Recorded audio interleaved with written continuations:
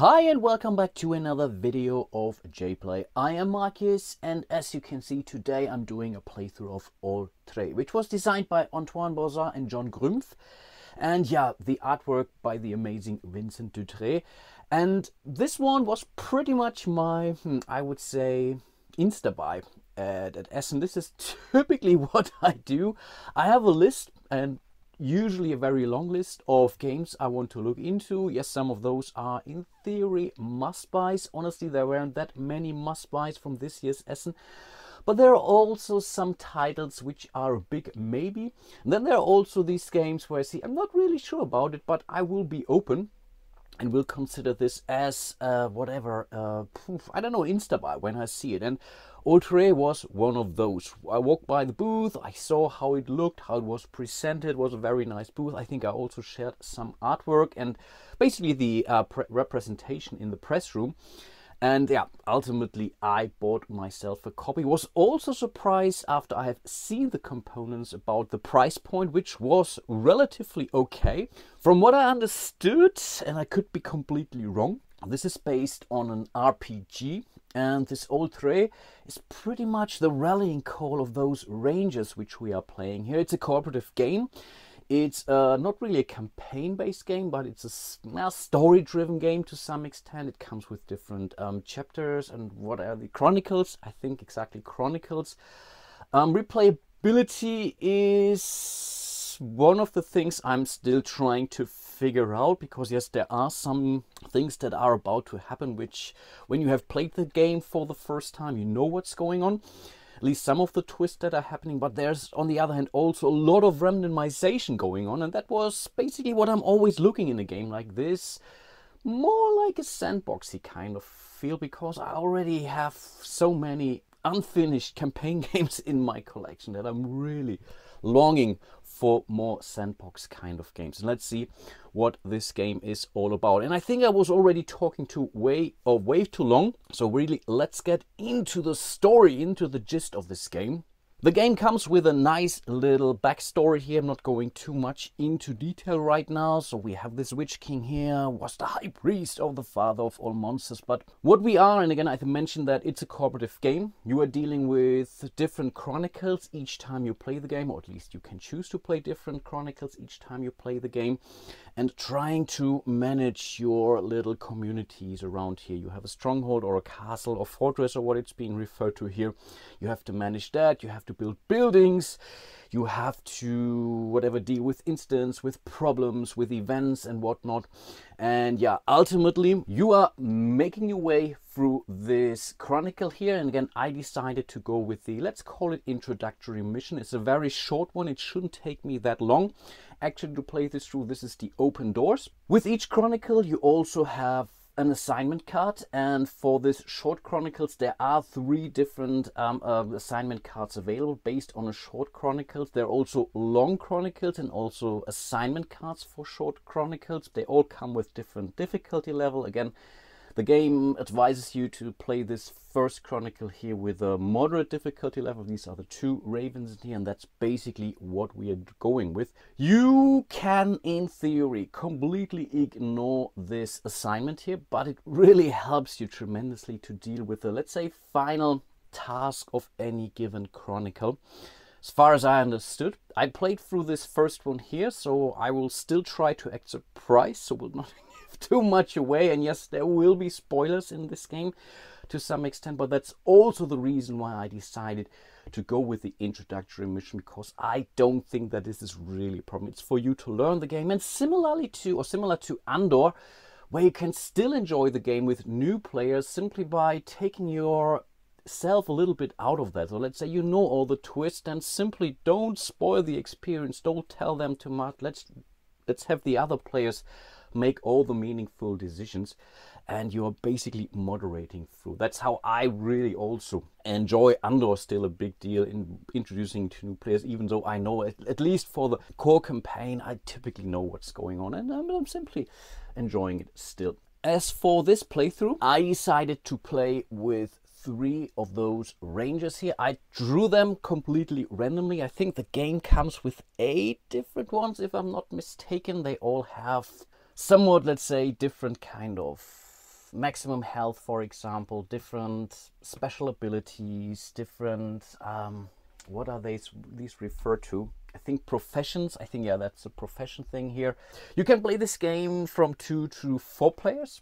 Um, why not solo, you might ask? And I wonder that myself. This is all going back to some of the incident cards, the problem cards. I think more the incident cards actually that have sometimes decisions, for example, and you should not tell the other player what they're going. Basically, similarly how I would play Eldritch Horror, for example, not giving too much away from an encounter card, for example, but I will cover it up. And as I really have a bad memory, I already forgot what cards I have seen actually. So I think we should be good here. And honestly, I, I, really think you should be able to play this game solo without any problems. I think you have to still go with dual handle because that's how the sizing works as far as I understood. So you can play from two to four players, but it's also not really a problem playing this um, multi-handed. Yeah, so we have Selena, we have Gaspard, we have Lars, so we have a Persevering, a Snoop, and the Adventurer. And as I mentioned, the game really comes with amazing components here. So these are the miniatures, wooden miniatures, print, wooden printed miniatures here for our three heroes. This is pretty much our fortress in the three player game. You already start the game with one building. You get to choose from four of those. And I have chosen a profession that none of our players currently have. And I don't know what those are. I'm pretty sure this is being outlined here in the rules. And I, as soon as we're getting into the game, I promise I will let you know what those are. We also start the game with some prestige here, normally on level 3 because of this building that we were allowed to build as part of the setup as we are only playing a 3-player game. We immediately got one extra prestige and this is our defense rating. Whenever one of those things falls down to zero, we have immediately lost the game. On top of this, we will also lose the game if we are basically making it to the final, let's call it task here in our chronicle and will not be able to whatever meet its conditions. And then we are also losing the game. Then there are two cards typically a, a victory and a defeat i think in later longer chronicles. There are even i think major victories and minor victories if i recall that correctly but i'm sure we will get to that so right now we don't really know what we have to do so that's similar to games like arkham horror third edition for example or maybe even the card game where you not necessarily know what's going on and what your goals are. It will unfold throughout um, the game here. And again, this this Chronicle is rather short. Apart from that, I have set up the game board according to the standard setup rules. So we have two decks of different incident, I don't know, categories. And that's basically being driven by the assignment card here. So this these two icons here should tell you which incident decks you are using. I think overall there are five different decks and each of those decks have 25 cards. And again, given or depending on which assignment card you're playing, you are meeting different random encounters or incidents when you're playing this. So this is definitely a pro for the replayability of this game. And this is also what the rules um, tell you to do. So if you're playing a Chronicle again, the rules simply advise try it with a different assignment because then you will most likely see different incidents and different requirements um, coming your way and that's what I really like about this game. Apart from that again I have set everything up so in each of those incident spaces of these regions here we have now three incidents which is definitely a problem because the more incidents there are the more perilous those areas get but I will come to that when we start playing the game. And one thing I forgot was to assign one ration to each of our heroes here. That's about it. They are not getting any real equipment cards whatsoever. So what you see is what you get here. I think from a table requirement perspective, it's somewhat modest, this game you can have more rations and those rations are giving you either rerolls or extra actions during a turn which can be um, yeah, incredibly vital obviously your maximum is three there are different ways how you get those but again I will cover that when we get there. And I think with that being said, we should be able to start our game. So it's finally time to open our book here. And again, artwork, I mean, it's Vincent Dutrait. It's simply amazing. It's gorgeous and absolutely stunning to look at. Love it a lot. It's a short chronicle, and our first chapter here is at the gates.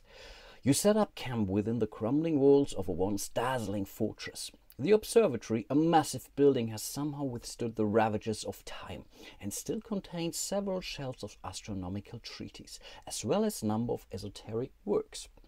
Place the observatory building tile on the game board, build side up for free. Place it on an empty construction space inside the fortress. Awesome. So we will get something right from the get-go without uh, having to build this. So here we have the observatory. Normally this um, little tile here shows you what you have to spend in order to build this and you also have to use one of your precious actions here. So here we need some building materials and some fire materials, which is a relative turn here. The rules are pretty clear about those resources. So this could be anything from firewood to oil, you name it in order to build the observatory and this could be stone or any other building materials here for example but in this case again we have taken it for free it doesn't really matter on which building space we are building it here but we will go with the observatory on this space again for no real reasons what this does to us is when we build it, we get one of those prestige points right off the bat. Awesome. So we will start the game with five, which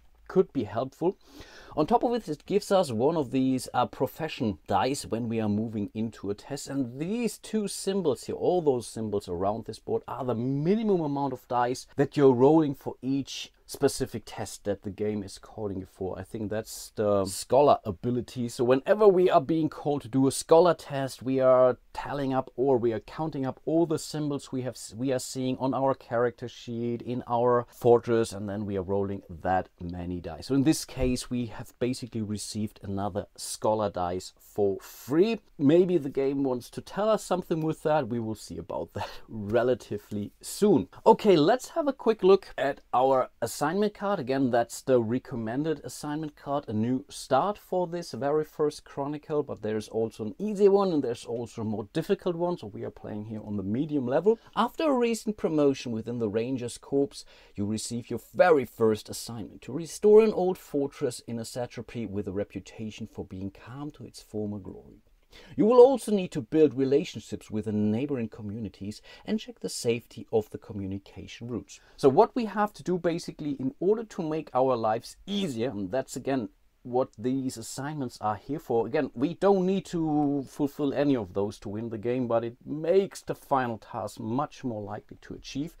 So we have to basically secure two of those um, communities or regions in order to unlock this and then we are placing a token on top of that to indicate that that's done and we can never lose that status by the way as far as I know at least. In order to do that a second time for this task here we need to again secure an additional one so three in total and we have to solve three problems when they are coming out and rest assured they will come out. And for this final task here on this assignment we have to do yet another of those or secure another of those regions. So four in total. And we also have to build the workshop and the forge in order to complete that. Ideally, we will make it through all three of those. Yeah, not so sure about this, but let's see about it. At least we want two. I think that should be our minimum goal. One is really the bare, bare, bare minimum. I would think, but having two is definitely much better.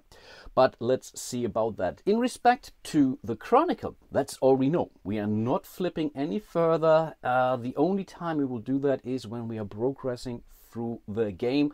But right now, that's not about to happen. This will take us at least, I think, two more turns. But yeah, we will get there sooner or later. But right now, this is where we are. So that's all we know. And this is what we have to deal with. So I think Selena will start the game and you play the game in a clockwise fashion. I will simply play it from top to bottom, starting with Selena. And again, all our rangers are here in the fortress. This is also the space where we are keeping our resources. We don't start the game with any of the resources, but we will be able to collect resources from our communities here, for example. Or, yeah, they're basically all out here. I think up here is also one space. Because we don't really know what we need, other than we know that maybe for our optional goal we want to build the workshop and the forge, we might want to get ourselves these resources here. For the workshop we simply need a fire resource. And again, this represents fuel resources. Could be oil, could be coal, anything. For the forge, which would also give us one more prestige, which is never a bad thing, we might also need a fur resource, which is any mm, animal resource. Could be fur, could be skin, wool, etc. And also another fire resource in order to do that. So getting two fire and one fur might be a good way ahead into uh, basically a fulfilling one of those three assignments up there. But yeah, we only have two actions per player. But for now, let's remove those as we have to earn those resources and those buildings here. And the very first first thing that every player has to do is to roll the adversity die. A very thick, heavy wooden die, which some icons on it. So let's simply roll that and depending on the roll, stuff will happen to the adversity marker. And that's in theory would mean that the adversity marker would stay where it is and we would trigger that action again. But we cannot do this on the Chronicle space. Otherwise the game would be over too soon. And yeah, this is, yeah, we would lose. If we would now flip it over and then maybe roll the same symbol again, we would be out of actions and then basically, yeah, we would, we would lose the game pretty much after, I don't know, four rounds or so. In this case, we are moving it one space ahead, and this is now the incident space. And the incident here on this one says it's a metallic tinkle. But we have to um, basically roll another die to see where this incident is getting played. That's the location die, and each of those regions has a corresponding number, and that's the 8. Okay, which means we are moving the metallic tinkle on top of region number 8. Because I know as part of setup we have now four cards on the incident space of that region. This means this region now has become perilous. Maybe something I forgot to explain. The first thing that you do when you are making it to the incident space here with our adversity marker, you check how many perilous spaces you have and you lose that many prestige. We didn't have any of those, but now we do have a perilous location out here. There can never be more than four cards in here um, in each given space that is. But all the more reason now to start sending some of our folks now to that area here in order to make sure we are basically getting rid of this so we are not losing too much grace. Because again if this makes it down to zero we have automatically lost the game. And now it's basically the two actions for Selena. You can move, you can build, you can deal with an incident. Right now, in theory, could build. We don't have any resources. We could rest. Yeah, in theory, she could get rest and therefore get another um, ration for that. Or, yeah, I think that's a ration. Oh, provision, sorry, a provision. But I think that also doesn't really help us. So I think the very first thing that we should do is to move. Right now, we don't have an immediate need to deal with that because we know the incident space is, it takes some time until we get back. We have to basically wrap around here and then make it to this space again before we are making this little check here. But on the other hand, maybe still getting rid of it might not be the worst idea. On the other hand, we want to empty or secure those locations. And you can only ever secure those locations when you basically get rid of all of those incidents in a region. And on top of this, you also have to build the tower of the fortress that will then protect it. But once that these two conditions are met, we are placing basically one of those, I think, secure markers, or what are these called, shield tokens with this side face up. And this would then mean, okay, this region is now secure. And that's basically one of the things that we have to do for all of our assignments right now. So that could be either way. I still think let's deal with the problems where they are. So with our first action, we will move into this region. Again, all the regions are now adjacent to this fortress here. Apart from that, this region is adjacent to this region, this to this. But this is where Selena is moving to with her first action. With the second action, she will now encounter this incident, which will automatically mean we are getting rid of it because no matter the outcome of this incident, we will get rid of it. So that's at least a good thing. So I will look at this card and will basically cover it also for me. So I promise I'm not reading you any of those results. And again, that's the same thing that you would do in a normal multiplayer game here. Um, sometimes there are... Mm, let's say, incidents which require or will have results based on the amount of success. In this case, the rule suggests you that you tell the other, hey, there is something better to achieve if you're making, uh, let's say, an effort reaching more successes, for example. That's information that you should share, but not necessarily what those results would be. Okay, metallic tinkle. You prick up your ears and realize that the ring you hear is the alarm bell of a small fortified village. The villagers are being attacked by a giant. You gallop to the rescue and limit the damage. So we are now making, I think that's called a soldier test. So basically we are trying to fight.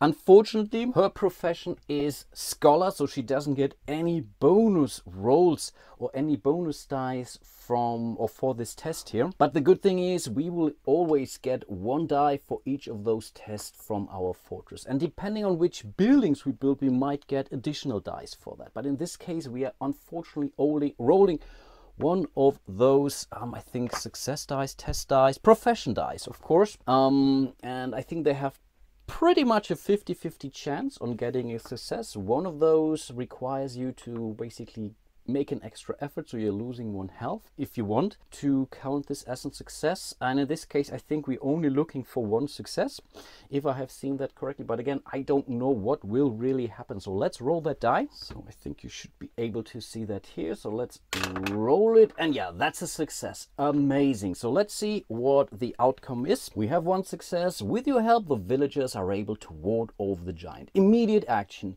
You can call on the community in the region which is amazing amazing. Cool stuff.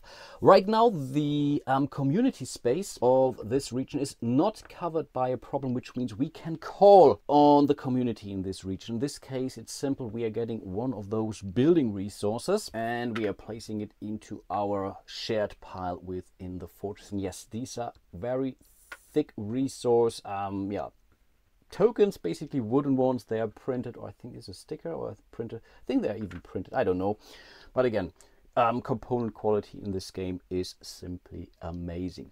But that's pretty much the end of Selena's turn. Again, she moved and she was dealing with an incident, which we have gotten rid of now. So that's definitely a good thing. I'm not showing you the fail effect. And by the way, you cannot do the same action twice. Um, so you cannot move twice, for example. There is one character who can do that. Don't know the name. But yeah, we don't have them with us anyway. But that's basically the end of her turn. We are moving over over to Gaspard. He also has to roll the adversity die. Every player is doing this. So this is one arrow, which means we are moving our adversity marker here to the problem space. So we will deal out our very first problem. In order to determine where this goes, again, we are rolling the location die. That's location number two up here. So let's see what we have to deal with. And that's the game shortage again. Lovely, lovely artwork. The hunting season has been poor. The village will run out of furs to keep warm in the winter. So in order to deal with this problem, we have to send one of our um, rangers in there and they have to spend one fur resource. Right now we don't have fur resources, so maybe we want to get there um, because as long as this problem is here, we can no longer deal with the community space, which would give us the fire resources we would actually need to build our forge or the workshop. And on top of this, we want to maybe or maybe want to resolve three problems at least to deal with the second task from the assignment card. And by the way, you can do these in any order. So if you feel this should be your very first thing to deal, that's totally up to you. But again, you cannot reuse those secured zones here. So once we are using one secured zone for this, we cannot also use the same secured zone for, for this task on the assignment card. Okay, now for the two actions of Gaspard. Um, maybe let's have a look at his special ability, the Snoop. If Gaspard is in a region, right now he's in a fortress, not in a region, he can use one of his regular actions to obtain any one resource of his choosing. So he would be actually perfect to have him move here into region 2 then basically generating the free resources then maybe with his next activation to get rid of it and then he could already start collecting those resources here for the others to build stuff. So i think that may not be our worst decision. Let's do that right So with his first action, we are moving Gaspard into region number two. And I really do love those, um, let's call it meeples for a lack of a better term. They're not really miniatures, they're more meeples because they're wooden. But again, they look simply amazing. So we'll move him here with our first action. With his second action, he's using his special Snoop activation. And we need some fur for these poor villagers here, which again will go into our shared stash in the fortress. I think the maximum we can have of any of those four different resources are four. That's typically plenty. But that's again already the end of his turn. The game is really moving very, very quickly. Last but not least is Lars, and there are no real game rounds. You simply play the game until whatever you're triggering the end game, either winning or losing the game. So we will have Lars. His special ability doesn't necessarily help us right now because when he performs a rest action, he gains an additional heart and one additional um, provision. So in this case, he could go for a rest action simply to bump it up to three but again he wouldn't gain any more health. And even if you're moving down here you're never out of the game. You can no longer use the effort side on the profession die but that's about it. That's you cannot really be eliminated from this game and uh, you should never be eliminated from a modern game. That's at least my opinion unless you're playing um, king of Tokyo which is totally fine and short enough. But first of all he also has to roll the adversity die. And again, we are moving one space ahead. There is a double um, symbol on this one here, but I think only one as far as I can recall. Majority of those are simple individual moves, which means the marker is now moving to the event space. So let's see what fate has in stock for us. Let's place it here. And there are two kinds of events, um, basically immediate effects like this one here, an ongoing effect. These typically stay in place once they are covered with a different event, for example. And here we have this surprise inspection. The commander of the Ranger Corps has sent a delegation to check on their progress. If our prestige is three or less, we would now lose one health. So I really think we are getting a hell of a speech. Luckily, we are at five, so we can basically ignore this. Nicely done. Let's simply discard this event. So Lars can take his two actions. And actually, I noticed this is not the fur. That's a fire resource, but we wanted fur actually. On the other hand, Oh, that's a good point. No, maybe we should have gone for a fire resource because again, yeah, no, let's let's stick to that. Sorry, that was stupid. No, ultimately I wanted to have move Gaspard up there to region 2 in order to produce the fur ability and then use it maybe for his next turn to yeah, deal with the problem, but that's not necessary. He can still do that anyway. So I think in this case this was more or less an error done subconscious level or so. so I think I will stick to the fire resource because again, Lars can use it right away to start building our very first thing, right? And I guess should we do that? Why not? So his first action will be to build the workshop. Therefore, we are spending the fire resource. We are flipping this to the other side.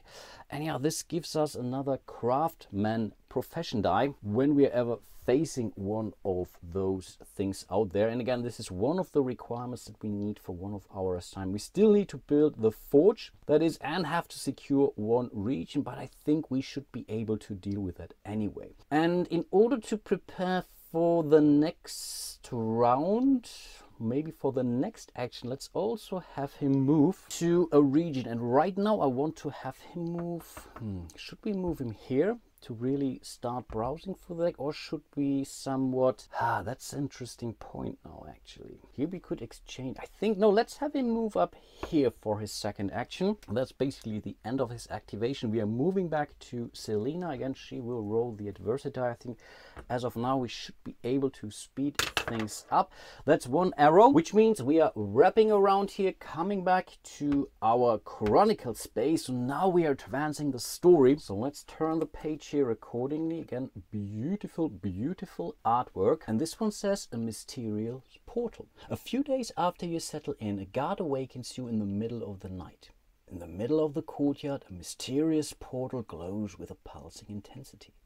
A curious volunteer jumped through the portal and emerged a few minutes later with a wide grin and his arms loaded with riches. Place the portal tile on an empty construction space in the in the fortress and yes we have the portal tile right here We will place it in a second. And it says, some of your more daring elements go through the portal and come back loaded with food. Gain three resources of your choice. Amazing. But that's about it. This portal has just opened in the middle of our fortress. We don't really know what it brings, but we do know for sure that it did provide us three resources. We still need a fire resource. We still need a fur resource.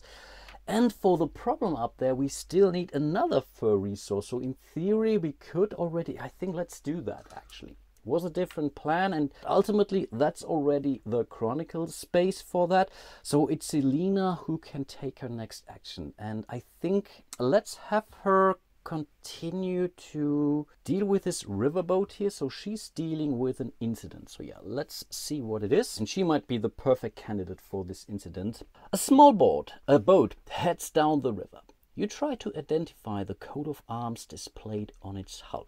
So we are now making a scholar test. She herself has one scholar profession on her ability, so she's already rolling that die. On top of that, we have the scholar die, which we will get from our fortress, and we have the observatory. So in total, she's allowed to roll three dice for that test, and that's certainly something. So let's see what we get out of this. Let's bring out her dice tower. By the way, her special ability allows her to roll one profession die for each of her tests. So that's pretty amazing.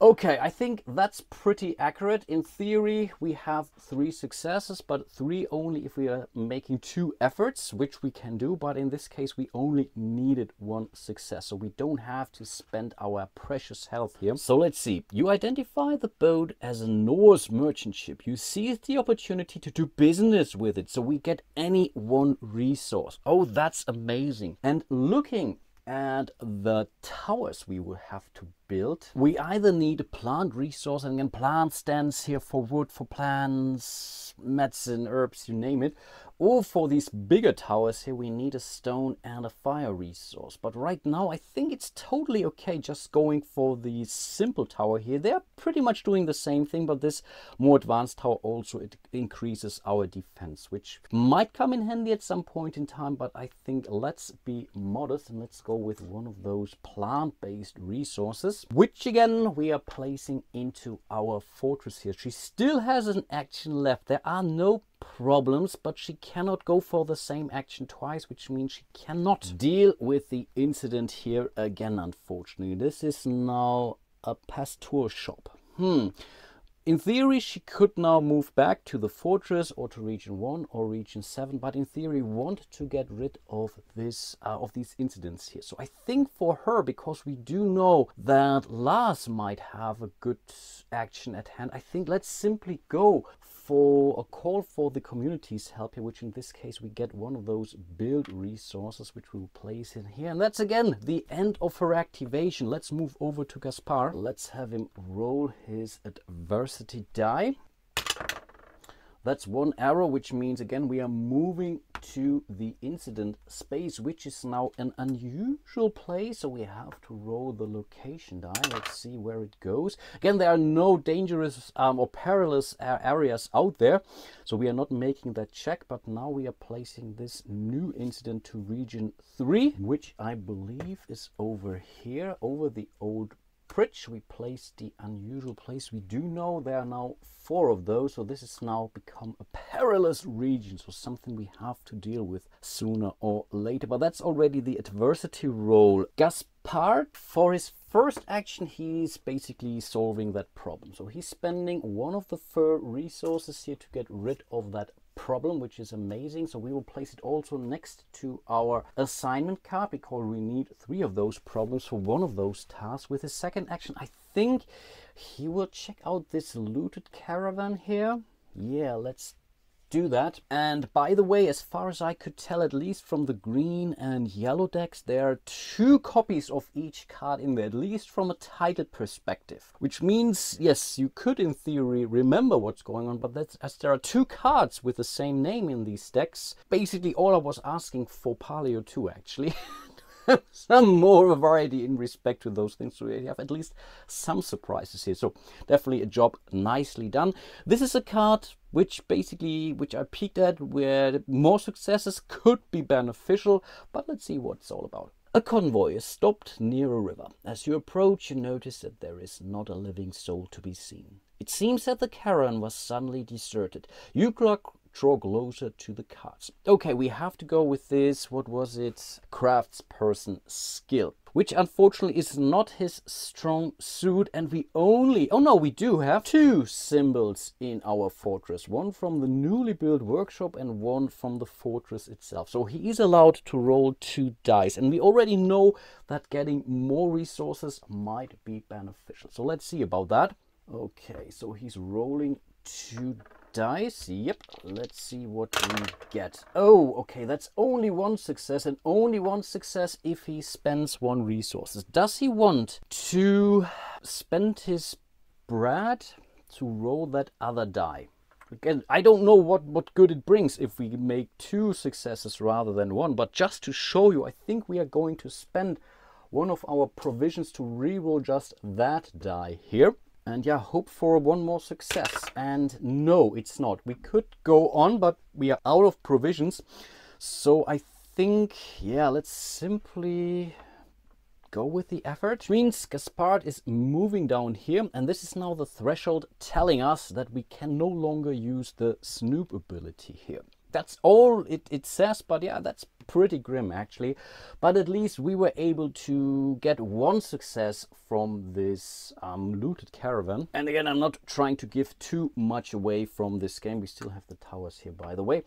Um, you help yourself to some cargo since nobody seems to care. And I really don't know what the other successes or failures are, but in this case we get another plant-based resource which we can use to build an additional tower, for example. I think that's still beneficial and overall this incident is gone too. So let's place that in here. Let's get rid of these dice. Up next it's Lars. Again, he has to roll the adversity die. He's up here in region one. Okay, let's see about that. And that's one arrow, which means we are moving to the problem space once more. We have to roll the location die, and that's number four again. Oh, was it again? No, I think the one before was three actually. So we are placing this problem in here and this is the mild epidemic. Oh yeah, where did I hear that before? Of course, the current situation is far from being mild. I know that.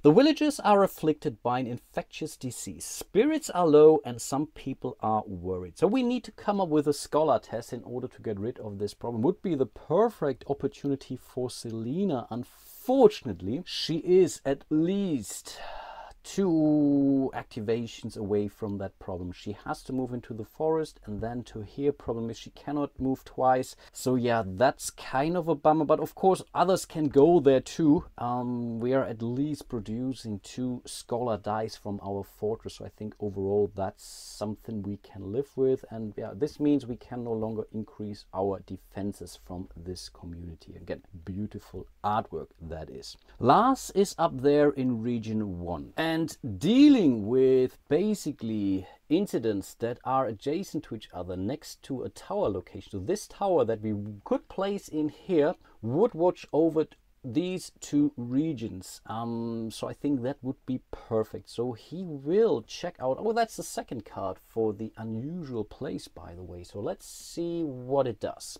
or rather what it is asking for. As you search the area, you realize that the grove you are in is the home of an elven dog. Okay, an elven dog. Mm -hmm. Surprised, the slender creature stares at you with its intelligent eyes. Okay, a scholar test. We already, yeah, he's rolling two dice because of our fortress, that is. So let's see about that. We need one success. That's one of those. And yeah, that's the success we needed. Amazing. And this one says, if you wish, the elven dog will take you anywhere you want. Hmm, as an immediate action, we can go to the zone of your choice. Oh, that's not bad actually. So we could move him to location four here to get rid of the problem there because all the others are relatively far away. Let's do that actually. Yeah, absolutely. Let the go, uh, dog guide us. So we are moving here to this problem zone and because that was his first action actually. Oh, that's really working out very, very well. So for his second actually can try to immediately deal with the mild epidemic. He still has to pass that scholar test, but he's rolling two dice now, and I think he still has a brat. So I think overall that's pretty amazing actually. So let's simply do that. This card here, by the way, I believe tells us that we need one success in order to deal with that. We do have wooden tokens in order to cover those, but honestly, I don't know why there are tokens down here. On the other hand, there are no other cards that would require you for a test without those. There are also one with two. So I think in this case, it's simply one success. I asked this on the geek. So far, I didn't get any real answer, but at least that's how I understand those um, problem cards work. And again, there are cards that have two boxes and then you can start towarding this problem. Another player could go there, you could go there again. You get the idea. But in this case, we are looking for one success, and that's not good.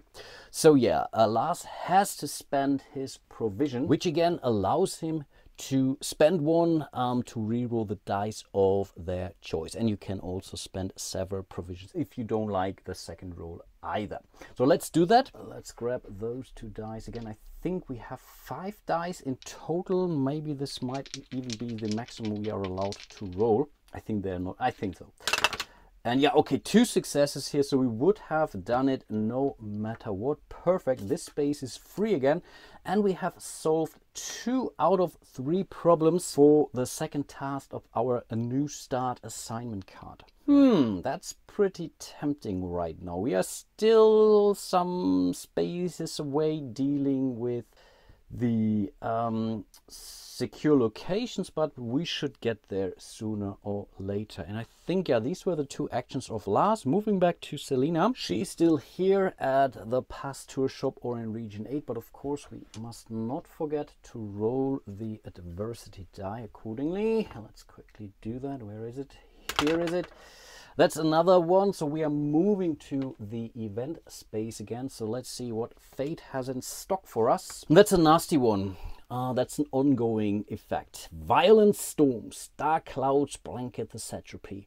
Powerful gusts of wind fell trees, while heavy rains soak the soil. Rangers who finish their turn outside the forest lose one health. You must be kidding me.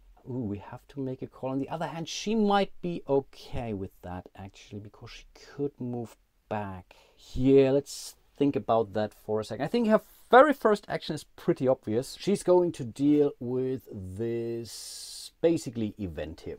Or incident. No, that's an incident, of course. And that's one of those where we can't do anything at all.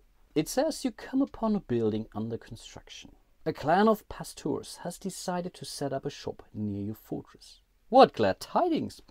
So we are now basically checking our prestige. Right, it's our prestige. Right now it is a 5 and I think, yeah, that's a great one actually because it says if prestige is 5 or more, the pasteurs offer you a welcome gift. So we get any one resource. That's nice. But now we are getting rid of this. And what resources should we get?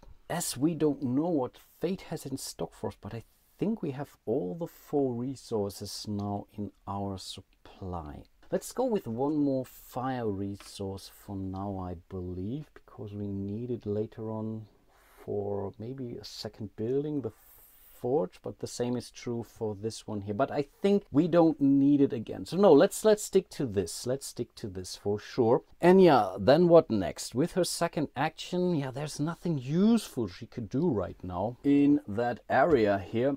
So she might want to of course she could go for another resource. She could rest to gain herself an additional provision. But again she would lose one health now when she would stay outside because of the violent storms so I guess, yeah, let's simply have her move back to the fortress. She might be able to build something with her next action. Then again, move out or so. Maybe she wants to start building that tower there. Let's see about that.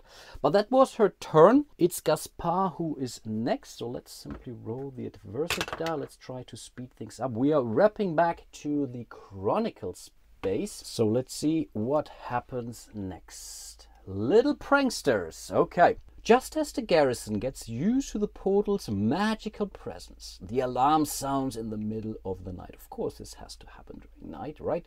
A band of tiny imps appear and cause trouble. Place three imp tokens on three empty construction spaces. You cannot build on a space as long as an imp is there. Okay, that shouldn't be a problem. The imps sow confusion within the fortress. Okay, we are losing. Okay, we are losing one defense. That could be a problem. And wealth continues to flow in from the other side. We still get any two resources from that. Well, that's really huge. And as a temporary action, while we are at the fortress, as long as the least at least one imp is on the board. Capture an imp, we need to go for one of those uh, craftsman abilities. We're building a trapper. So we only need one success for that, and this would allow us to remove one imp token from the game. Huh. Okay, but that's okay. Gaspard is next. That was basically the space, and again, such a beautiful artwork. But let's not forget to place the imp, and the tokens even tell you where basically what you need to do in order to get rid of those. We are losing one defense. I almost forgot that. So two more steps here could be problematic. So maybe Lars wants to spend one of his actions to yeah, strengthening our defenses or so. Um, but that's about it in respect to the Chronicle. So Gaspard can now take his action. He also wants to deal... Hmm, he wants to be in the fortress actually. So maybe... Oh, that's now a tough one. Ah, oh, this event really sucks actually. So in theory he could go for the landslide incident up here. On the other hand, we also want to get rid of those imps. Pretty sure they are not here to, to do anything good for us. And he could move in and also build stuff actually, which could also be very, very helpful. But I think, yeah, he's not fighting. I mean, the perfect, this would be the perfect thing for Lars to do because he's rolling one extra adventure, or he's the adventurer, he's rolling the craftsperson die. But uh, they're also rolling two, and I think this should be really possible, right? We don't really need another one of those. On the other hand, this could be problematic here we could move in here and deal with the incident because the next space could be an incident space and we would lose one prestige but this would also mean we would lose one but I think that's okay. We're doing good prestige wise right? And we already had one event or incident that was asking for this. That's a tough one now um, because I know what's going to happen. I will roll a die. On a 1 to 3 he is moving in here and is dealing with that. On a four to six he's going in here. And he takes the hit and yeah but I, I really don't like this one or maybe make it different because he's also losing one to four he goes in here five to six he's going for that incident. Okay let the die speak. So he's moving in here with his first action and with his second action. We are getting rid of this card here which again is definitely beneficial. And here we have another unusual place. You discover a pond hidden in a small grove a strange sensation comes over you, making you shiver. You crouch down at the water's edge and notice that the surface gleams with a soft light. We are rolling a scholar test. Again, we're getting two dice from our fortress. He doesn't contribute anything to that, but that's not the end of the world. And it's also one of those cards where you, or where you, I think more successes are beneficial. Again, that's the one information you are allowed to share. But yeah, with two dice, it's not amazing. But let's see about that. Okay, that's a maybe if we are spending it. He cannot spend any more bread, so he has to live with that anyway. But I think we want one success for sure. So yeah, we are spending a health. He's still doing okay. So we are dealing with the success. No, oh, I think I have to use two of those cover-up cards now because again, I don't want to um, basically spoil too much of the experience for you. We had one success, just a few sips will do you a world of good. So we are getting one health back. That's amazing. But this is the end of his turn. He's outside of the fortress and because of the beautiful violent storms here, we have to lose the health back again. But that's the end of his turn, moving over to Lars. He also has to roll the adversity die. Everyone has to. And that's a one. We are moving to the incident space. So good that I didn't, or that I got rid of the incident, because otherwise we would have lost now one of our prestige. Let's see which location it goes to. It's going to location four. That's basically where he is located. This is our next perilous location. And the original plan was to strengthen our defenses and then have him move to the castle, start dealing with some of those imps, or maybe start building a more buildings, maybe the tower. And I think in this case, because yeah, we still have some time, let's do that. So with the first action, we are calling for the help of the community, which gives us one defense. Nicely done. Uh, we can have, never have more than eight of those. And I think if we exceed the eight, we get, I believe we can get rid of one. Ooh, incidents also or is it a problem? Good stuff can happen but again we are at three right now. Doesn't really matter too much. With our second action we are moving into the fortress which means we are inside the castle wall so we are not suffering from the violent storms and that's basically the end of his activation moving back to Selena actually. Yeah so let's stay here. Let's roll the adversity die. And that's a two. Oh, oh oh that's interesting. So we are moving one two spaces here. We are not resolving the problem space. We are resolving the event space. And by the way we can never um, basically pass over the chronicle space. Um, in that case we would have to stop there. But this also means the violent storms should be over unless there is a second card in here. And yeah it seems the violent storms have transitioned into heavy hailstorm. Wow, hailstones as big as fists are hammering the rooftops. The fortress is heavily damaged wow, we are losing one defense. Now I'm really happy I have used his action to rebuild our defenses. So we are bringing this down. Again, we are covering the violent storms. That's at least something, but wow, that was a hell of a turn. And ooh, that's now a ooh, that's an interesting one. What are we going to do with Selena with her two actions? Because the storms are over, we can start going after the delicious aroma here. Yeah, we will, we might be able to secure this area unless something terrible comes up there again, but it's not very likely actually. I think someone should be able to build the tower here before there gets another. Let's do that.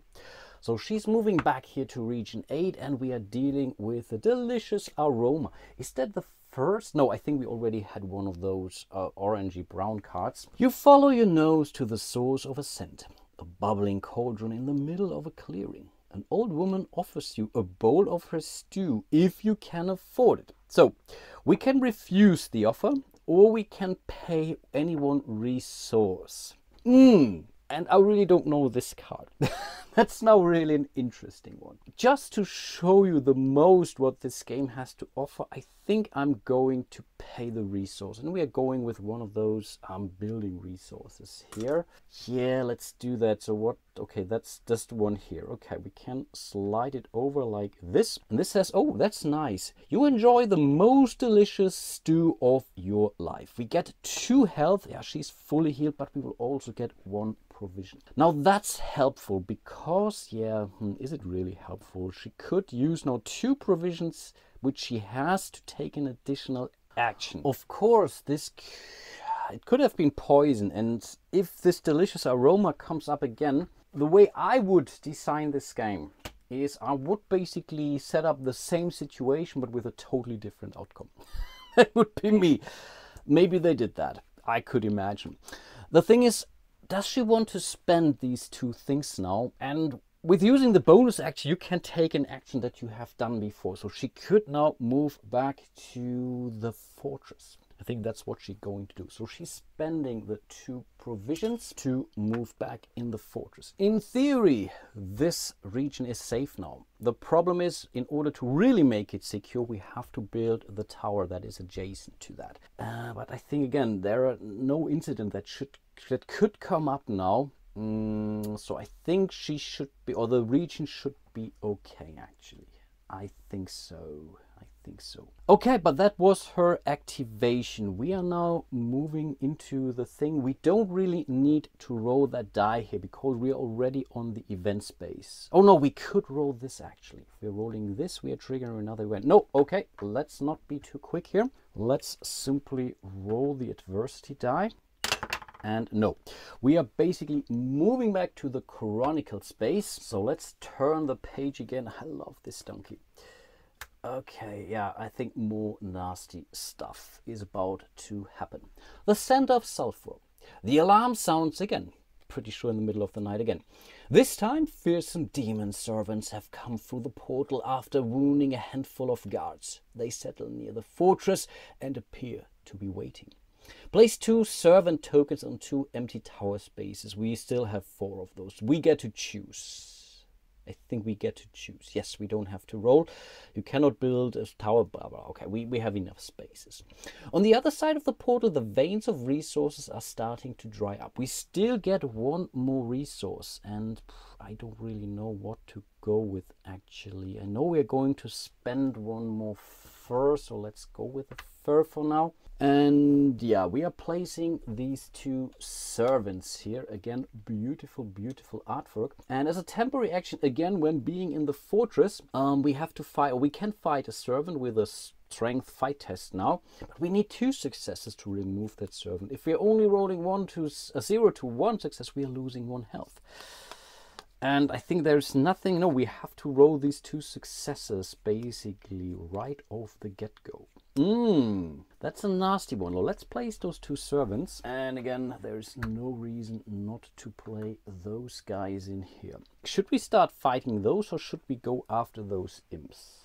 And should we... Ah, there's so many things that we can do. I mean, we cannot do the same action twice anyway. So I think, oh no, but I, oh, Gaspard is out here actually. He could move in here to get our defenses back up, but he's also our fighter now, so he's our best chance getting rid of this. We would roll two dice, but we also need two successes. Oh, that's a tough one.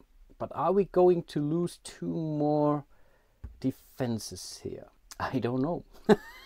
I really don't know. But now we really have a lot going on and we still want to build stuff. And I think we want to make sure, because the next one could be an incident space, which would mean this could be covered. Of course, there are a lot of ifs and whatnot. But I think ah, that was the plan. No, he will move in here and he will not fight for now. He will build a tower. And we will go for the cheap tower here and this cheap tower requires us to use one planned resource. And again the idea was to place this tower over here which means this tower is now looking over both of those regions here.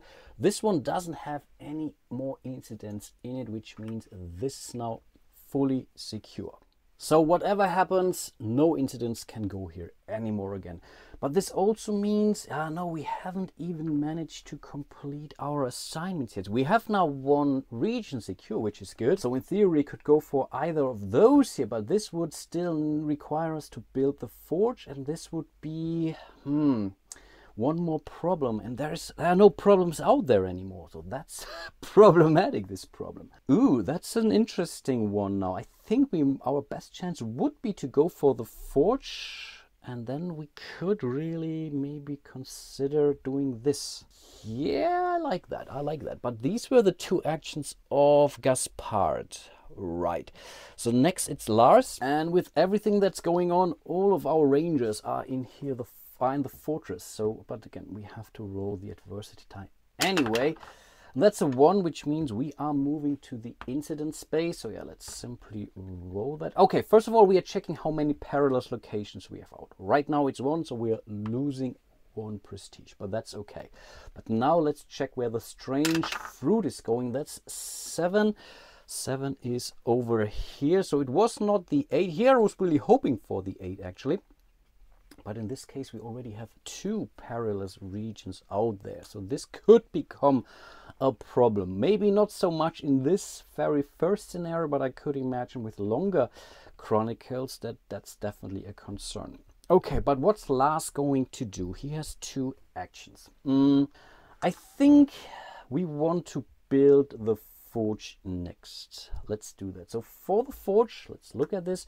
We need a fur and we need a fire resource. So let's spend those. We are placing it here. We have enough rooms. We are getting one prestige back. Oh, that's a good thing from this. And we get one extra fight die. Cool. That's pretty cool. Yeah, I believe that means we have one secure location. We have the workshop and the forge. So I guess there is no reason not to complete this task on this assignment here. Again, right now we don't really know what it does to us, but it's always helpful. It's good to have those. Cool stuff. Um, Lars still has a second action left. So I guess we are going to fight now one of the imps because that's his dice, right? Yeah, let's do that. Let's do that. So he's fighting one of those imps with these craftsperson die. So he has one from his profession. Um, no, two and three. So three dice in total. Now that's something. We only need one success here, right? Yeah, that's only one success.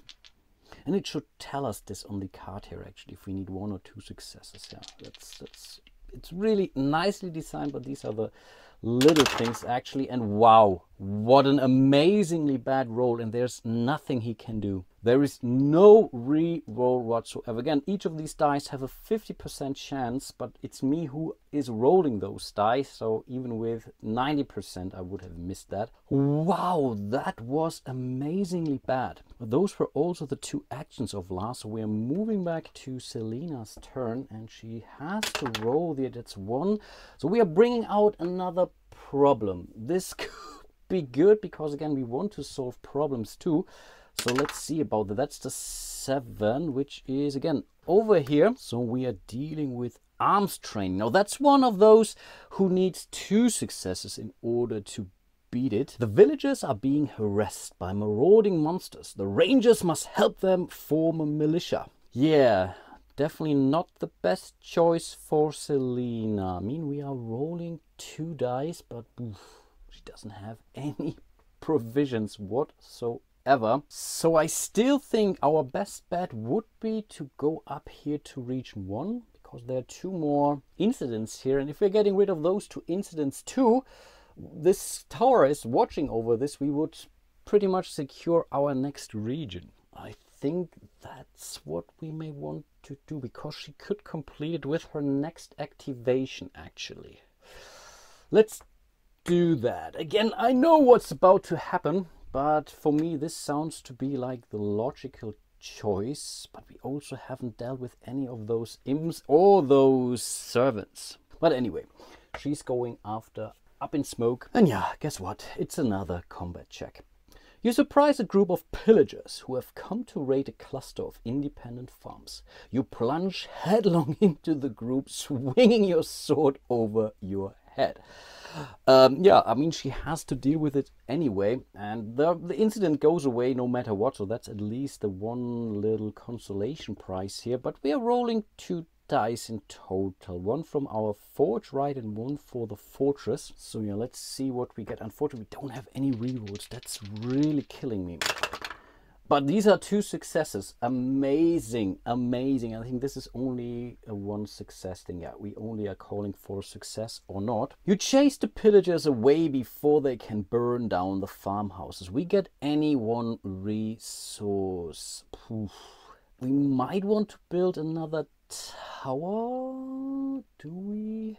Yeah, I don't think it matters too much actually. But yeah, let's simply either go for a fire resource or a stone resource. Yeah, let's go with a fire resource. I don't know why, but let's go for it anyway. But again, we have dealt with the incident up there. That's definitely a good thing. And that was her turn actually, right? She moved and yeah, she dealt with the incident. So it's Gaspard who is next. Let's see. Again, we are moving to the event space. We haven't rolled the zero yet, as far as I can remember. And here we have, oh wow, now it's a proper epidemic, it seems, not a mild epidemic. And that's a nasty one. A mysterious disease is afflicting the residents of the fortress. A few fatalities have sadly been reported. So we are rolling the location die now, and depending on the roll, nasty stuff can happen. Here I'm really hoping for a 4 to 6 because our prestige is doing pretty well actually. But yeah, let's roll the die. And that's what I really love about this game. I've never seen this event. There are so many different possibilities how the game could go. Yes, the outline story is basically always the same, but I believe later on in the longer chronicles you have some branching things that could happen. So the longer chronicles you could definitely replay more often. But on your way a lot of stuff can happen as you can see but let's see about that. And that's a six amazing! Oh not not should be really happy about the epidemic here but we can definitely afford to lose one prestige here. Cool stuff. Okay this goes on top of the heavy hailstorm but this was a one-time effect too. And then what is Gaspard going to do? I think we have to fight on the other hand, he could also move out to the grave robbers, so we could deal with that. But on the other hand, I think we will leave that with Selena later on, who is already there, so she could go in here and then maybe move back or move over. So no, I think that's the better deal. On the other hand, he could now build another tower. This tower could give us one defense back. And now that I'm thinking about it, this might be our best bet. And I think we will go now for the big tower here. So that's one stone and one fire resource. We are placing it here. Nothing really will happen, but that we are getting one defense back. And I th still think that that's worth it. And I think with his second action, he's going to fight. And again, I don't know what are uh, better for him. I think here we are really rolling one to three, four to six, and that's basically the choice he's making. Of course, yeah, he has more dice for those, but as he doesn't really know what's better, let's let the dice speak again. Again, one, two, three, four to six, four to six. He's going for one of those servants here.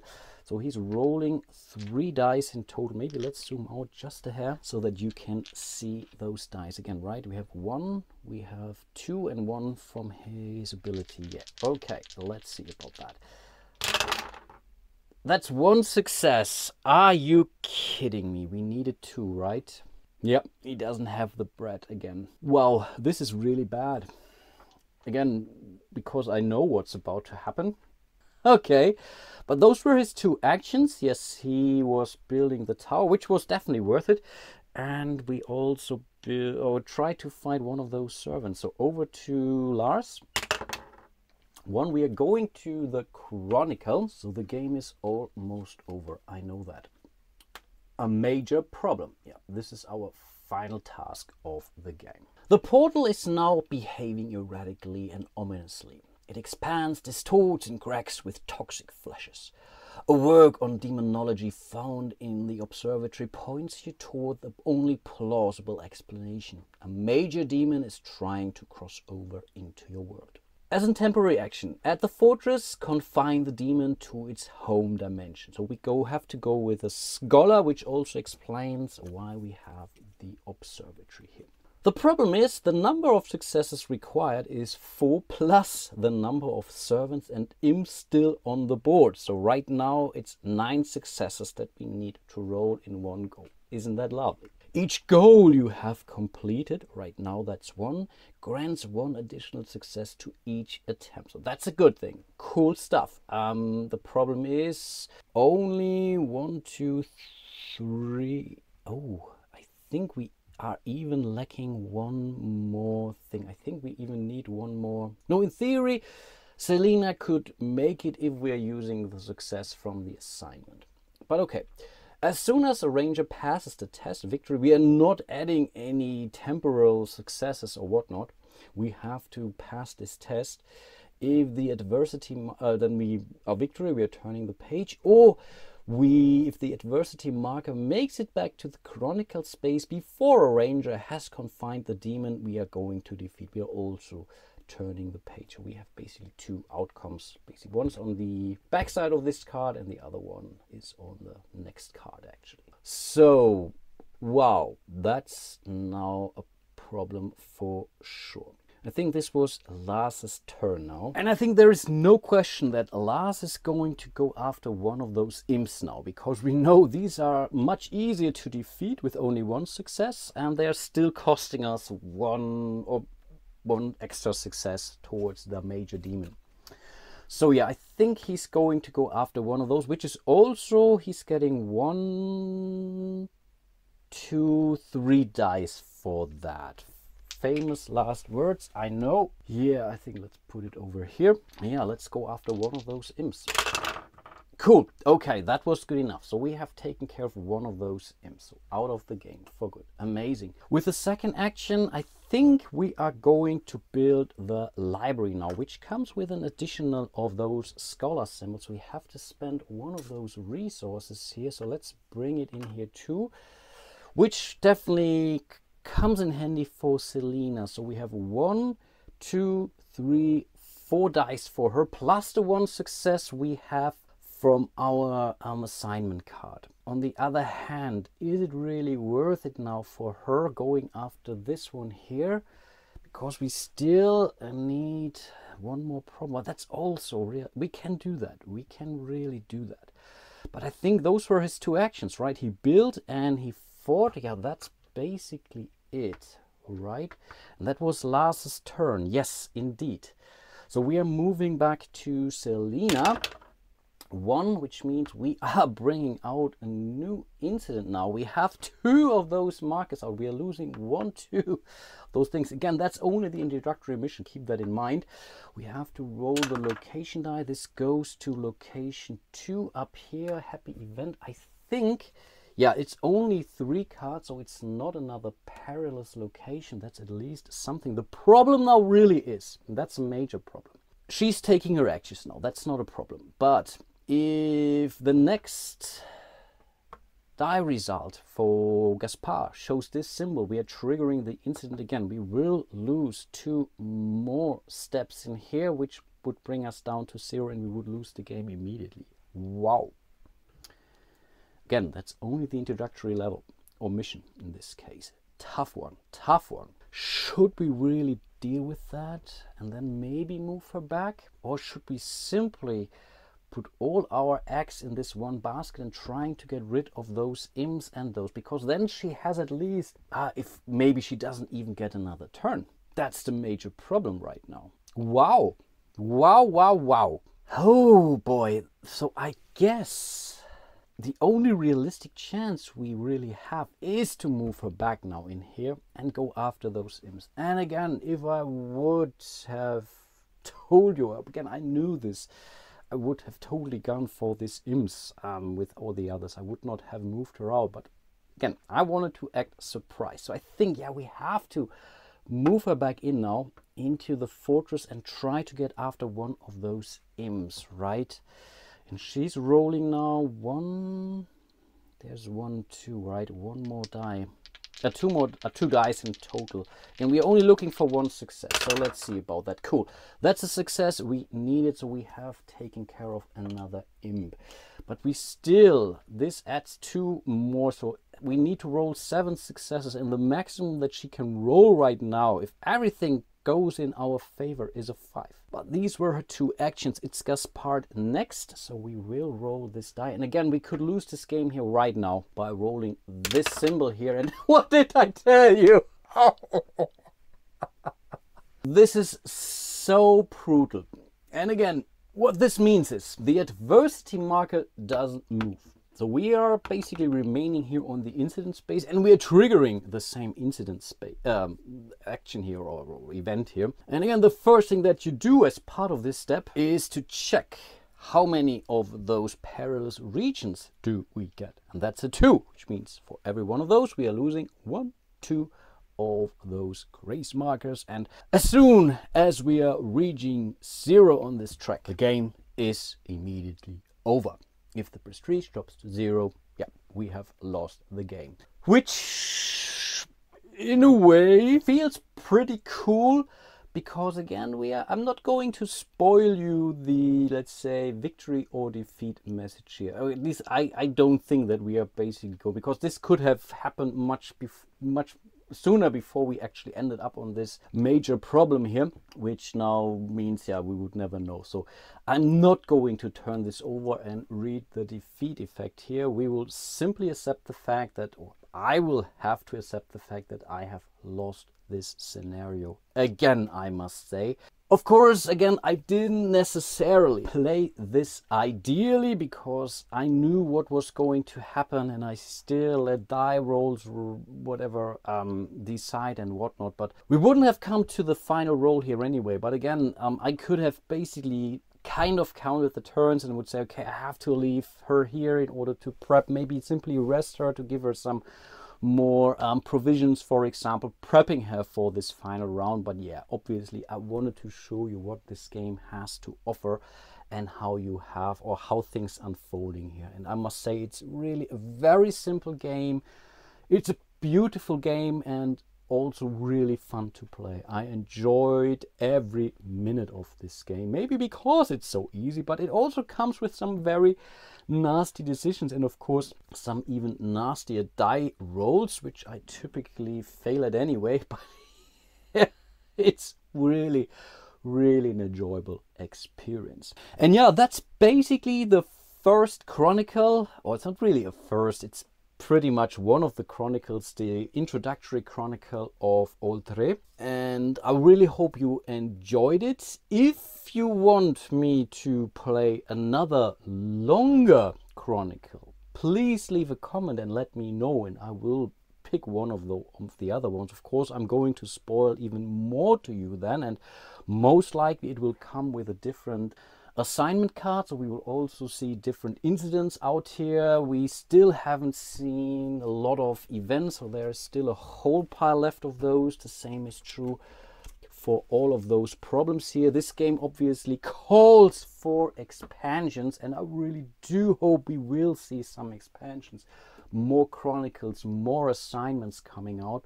But let's see about that. And yeah, a huge shout out to all of my patrons out there. Really do appreciate all your support. Um, if you want to support my little channel here, you can you'll find a link to my Patreon on Patreon. You can support me here by joining my community, like and subscribe.